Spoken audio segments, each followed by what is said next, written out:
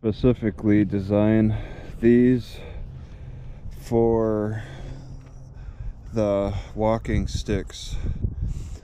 I made them just, uh, well, I did design for the walking sticks, but not for what I'm using them for now. I stuffed a sock, a full sock on the end, which is a little bit much, but it definitely provides good cushioning and it's it's pretty stable. So I'm not in a big rush to get them socks out. Just playing around with ideas and put a whole sock in there. I could go with just a half of a sock. But this works out pretty good for what I'm using it for.